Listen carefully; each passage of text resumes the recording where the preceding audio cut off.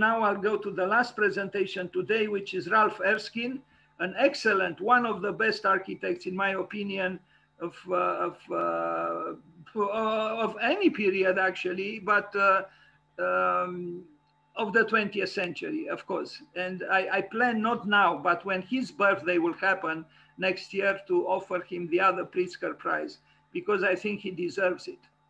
So Ralph Erskine, 1914, 2005.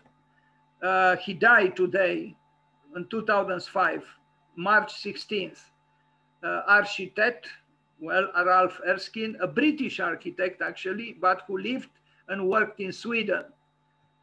Uh, Ralph Erskine, and romantic functionalist, uh, romantic functionalist, he said the first and fundamental function of architecture is to be an extension of our clothes, to protect our emaciated bodies from the climate oddness and improve the microclimate of our surrounding environment in relation with the natural one.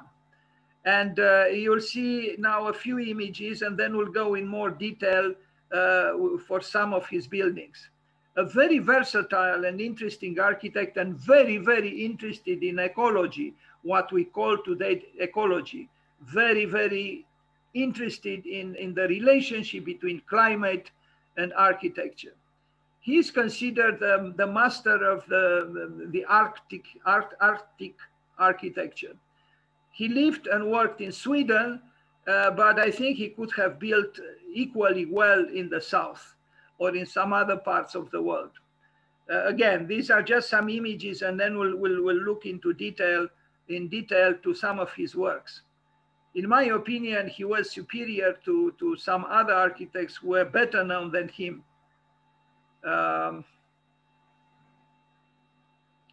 so he died on the 16th of March in 2005, and that's why we talk about him today. He was not a formalist, but he had an artistic side which manifested itself in, in, in, in various ways in his buildings. I think he was a very subtle architect. He was indeed a functionalist, but the romantic side of him made him uh, uh, move away from a, a, simplistic understanding of what functionalism means. And you'll see he arrives at some very innovative uh, creative uh, um, architectures because of that openness of mind. Drawings, some drawings by him, here is the, the master seen from the back, uh, drawing manually. Uh, he didn't draw digitally. This is a study for, a, for an utopian kind of uh, Nordic, um, you know, settlement, not just a building, but a cluster of buildings his own house, which we are going to see again, the same project uh, in the Arctic, an ecological Arctic town from 1958. His drawing, his manner of drawing was very, uh, you know, playful uh, and not stiff at all. So Ralph Erskine, British architect, but living and working in Sweden. This was his house, his own house, and you are going to see it, a very modest house, a small house. Uh, another drawing of his house. Uh, the house itself is, is here, but in his case, the building also connected and connects with what is around it. His, uh, the first private home in Stockholm is his own house, and you just saw drawings of it and uh, it, it's just one room actually. Uh, it's kind of as small as the Le Cabanon by Le Corbusier, uh, but it's, it's, it's, it's truly architecture, maybe with a capital A, although it is just one room actually and look one side so the, the, the, this is the main elevation and the back elevation is very interesting the, the wood that he stored in order to be able to warm up the, the, the space, uh, it becomes uh, part of the building, the, almost the artistic expression of the building. A very nice idea. It's both functional and also aesthetically intriguing.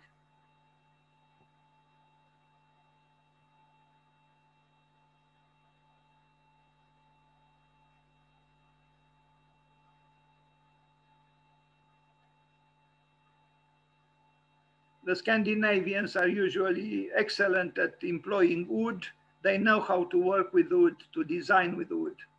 Now another villa from another building from 1961, um, a larger building, and you are going to see this is how he built it with um, exposed concrete. Uh, it was uh, refurbished later on, and you are going to see also the images, uh, uh the later on uh, images after, after it was refurbished. A dense plan, you know, uh, it, it's not dispersed because in the in the cold climate you are supposed to save energy, and so the building better is, you know, condensed and this is how it looks like now after, after it was, um, you know, uh, refurbished.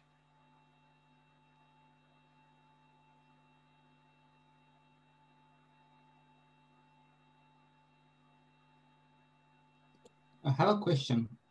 Please. Uh, you said earlier that. Um, I, I was, don't hear very well, please. Uh, you said earlier that you were interested in, in ecology. But how does using concrete help with ecology? Well, uh, your question is uh, is uh, is legitimate, but the problem is this man built 60, 70 years ago. At that time, the the conception about you know relating to the climate and even even maybe even the word eco ecological or ecology was barely used, if at all uh, we use it now. It's true. Concrete is not a, a material that uh, that is kind to to to the climate. But at that time, you know, uh, they didn't have, and he didn't have the the the knowledge, maybe even, and the conceptions that we have today. Your your question is excellent. He was he was concerned very much with with climate, but uh, he still used concrete. Yes. He didn't use just concrete, it's true. But even today, although we know that the concrete is not good at all uh, for, for uh, pollution, uh, for, for, for the climate, we still use it.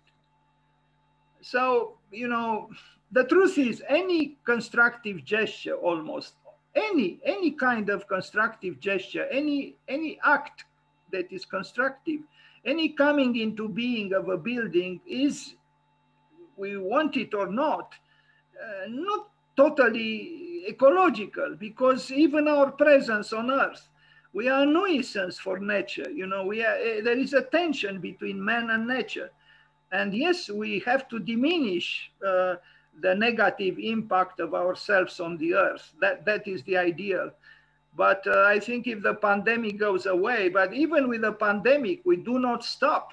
We continue to build like crazy higher and higher, wider and wider, and uh, keep neglecting the, you know, uh, the climate or nature in, in good measure.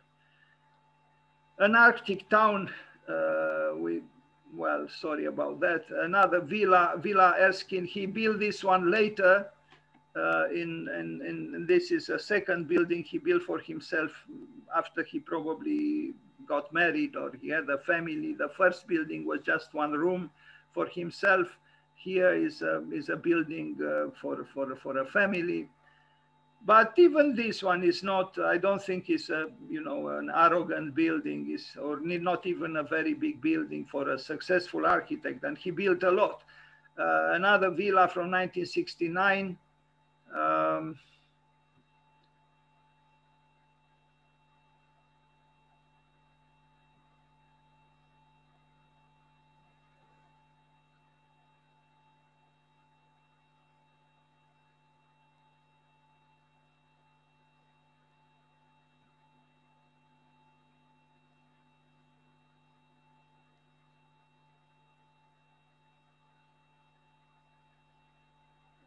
this is a, a, complex of buildings, uh, is an, a, a, row of, of uh, individual units, individual houses, a little bit uh, maybe too strict, this, this row, you know, there are too many buildings and they're all alike, but they have something uh, almost, uh, you know, uh, I mean, something Scandinavian, this austere uh, architecture towards the, the outside and, and then uh, the, the, the house is open towards the courtyard.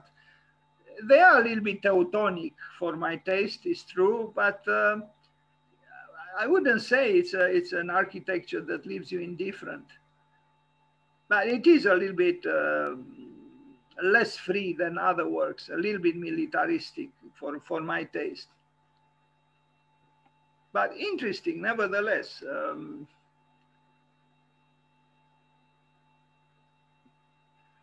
this is an excellent work in Stockholm. Aula Magna is, is, uh, is for a university, and I like the fact that it's not monolithical. Is, uh, is uh, there are many fragments. I mean, there is uh, also the the brickwork is, uh, is it shows a lot of versatility and diversity, reminding one of the the experimental house that Alvar Aalto built for himself and his second wife.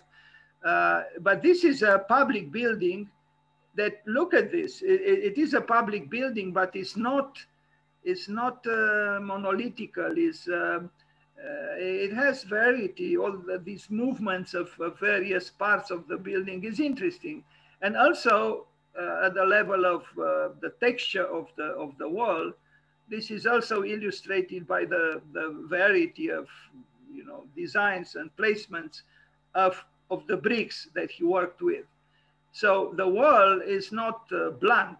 Is is it has it has texture. It has richness, and that richness I think is shown also at the level. I hope I have uh, some images also seen from a little bit uh, far away, like here. I, I, like this work very much, and it's not easy to do something like this, you know, because an aula, an auditorium is essentially a big room, but but he's able to, to, to, to kind of hide the big room behind this facade, which is uh, almost medieval in its, uh, uh, you know, uh, conglomerate-like, um, you know, uh, adding up various parts. And eh, eh, I think it's, it's a very good work. You see, the, the, the aula itself is a mono room, is a monolithical uh, you know uh, interior space, but uh, the, the outside is something else. I think it kind of reiterates the, the idea of a medieval fortress or something. Yes, I think you put it very well. Yes, the, the, the, the, medieval fortress, yeah. I think this is a kind of surprise. Pardon? Surprise, I think. Surprise?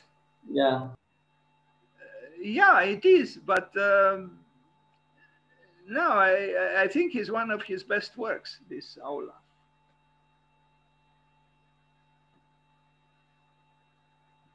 Not so much the interior, but uh, anyway, the London Ark. This is also an excellent work, and it shows that you can do an office building uh, in a city like London that is so very different from all the other office uh, buildings uh, built in, in, in London. You know, and you know, I can refer to the most famous towers by Foster and Associates. And I think the, the building by, by uh, Ralph Erskine is, uh, is superior, actually. I, without knowing enough about the distribution of functions and how he arrived at certain uh, uh design decisions relating to those functions. But the building, the first impression I have is that it has a complexity which most office towers um, do not uh, address. And I, I, don't think he played here with, with, with, forms or not totally or not completely because uh, I think that there is here a drawing a section where we can look at, at, at various uh, relationships between the forms he employed and the functions he tried to, um, to address. it's a it's a machine in a way. It's an organism. It's a mechanical organism but it has a certain even viscerality i would say especially at the interior. And uh, I, I, I think i mean i didn't study carefully but maybe i should and maybe i could. Uh, i know there is a drawing and i hope i have it in this presentation. I, I made three presentations on him and i hope that drawing is in this in this one. Um, where we can see, you know, uh, the trajectory of the sun, uh, how the winds blow here. You know, uh, if we have the, the patience to read and the ability to read, I think he he he tried to to to honor uh, uh, you know the the the the commandments of, of, of climate and the environment as much as possible through his building. And uh, now, to what extent he achieved this, you know, is for others to say who know this building better and who maybe use it.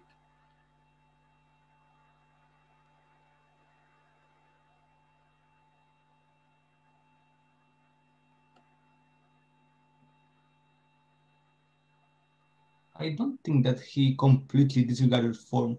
I mean, from my perspective, it kind of looks like a, a ship with uh, many levels and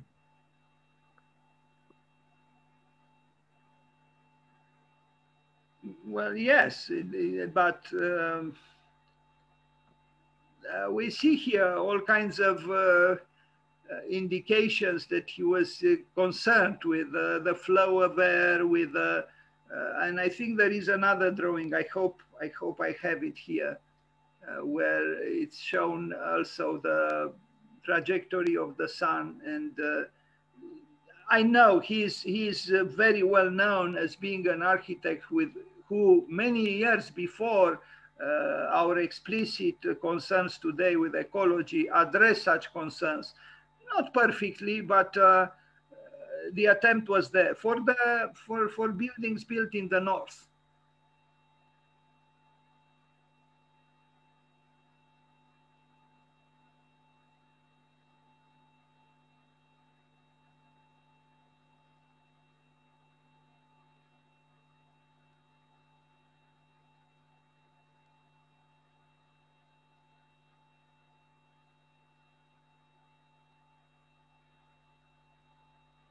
Um,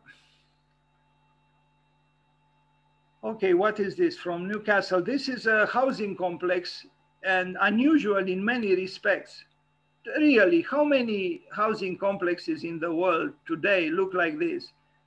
I mean, you know, a certain form of aesthetics that relate to some kind of a medieval fortress appear here as well.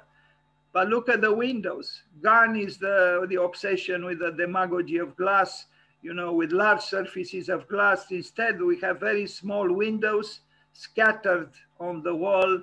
Um, uh, then, then the, the use of color, the, the, the, the, the fact that he actually used ornament as well.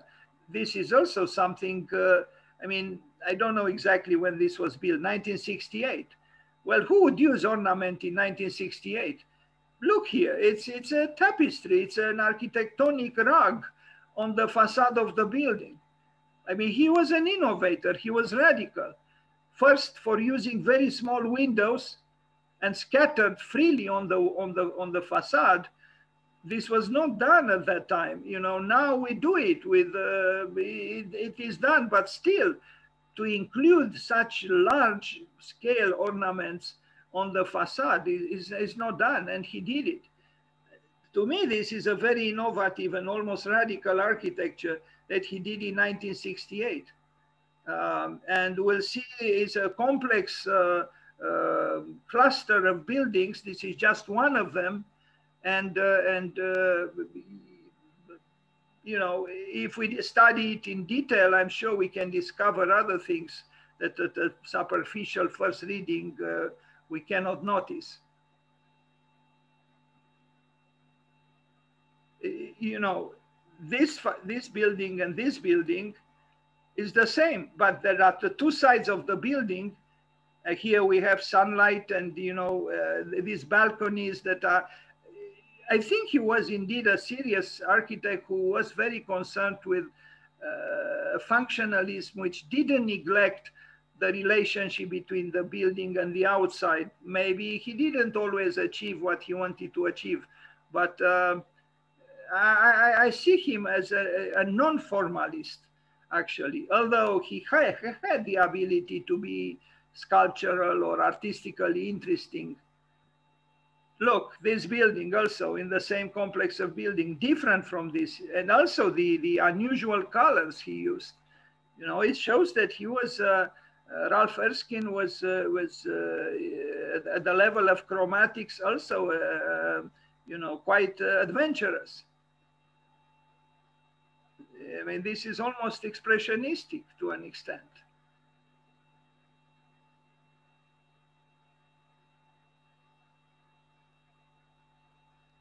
And all these buildings are built by him. And you see that they are not dogmatic. They they have a variety here that that is easily perceivable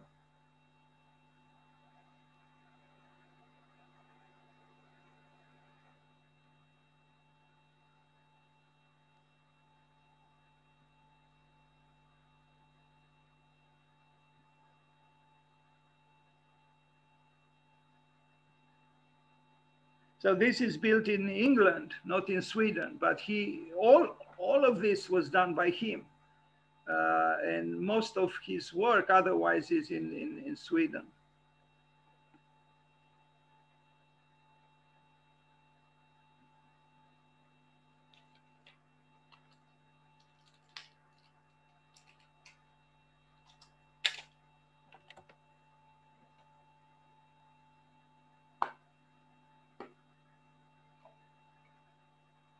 So most of most of the, I mean, even if if we compare his work with the work of those people who got the Pritzker Prize today, Lacaton and Vassal, we see a much richer and more complex architecture here. Uh, you know, richly chromatic. The the forms are very different. There is no dogma here, really. Uh, there is a lot of variety and this was done you know more than 50 years ago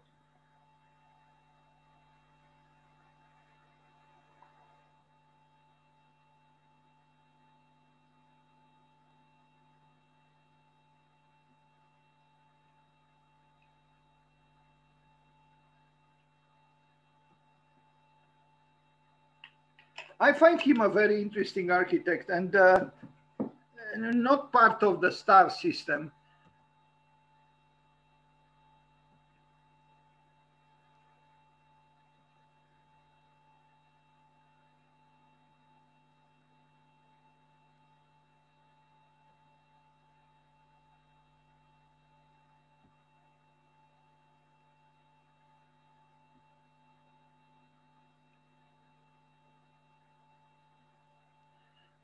Now we arrive at a different kind of work in Sweden, a small cluster of, of uh, private units, private houses, also very interesting, but different from what we saw in, in, in England. And, and there is here also something Teutonical, but look at these houses, you know, they are oriented towards each other, they are individual, they are distinct, but also this, uh, this part at the top, uh, you know, creates a certain level of um, exaltation that is not very common in, in uh, domestic architecture. So we have individual houses that uh, are also connected in between them. So it's a, like a dance of various dancers. And then we have uh, kind of a courtyard, a collective uh, space, uh, communal space, and then the houses, as I said, have this uh, strange uh, thing at the top, this part of the roof, which uh, gives them, I think, uh, uh, uh, an, an, additional um, element in terms of expression. Maybe a little bit exaggerated, but maybe a little bit idiosyncratic. But I think they are nice, these houses. and I, I like the fact that you know they are individual units, but there is also a sense of um, commun, commun, communality of, of, of, of, the houses belonging to each other, although they are, you know, clearly perceivable as individual units. And even here we see the sculptor, the architect who has a, a, a taste, a liking for uh, sculptural forms. On the other hand, I'm sure the houses are very comfortable and there is, uh, you know, there, there is plenty of wood here. I think it's an interesting, uh, uh, another interesting work by Ralph. Erskine.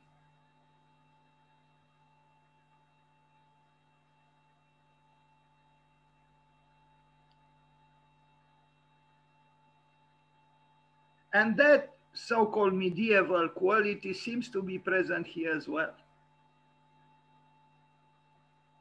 Residential area in Tibro, this is a different kind of uh, housing complex, uh, more explicitly communal, uh, but and, and, very, very different from what we just saw. And this is also interesting that the same architect who did this, did this.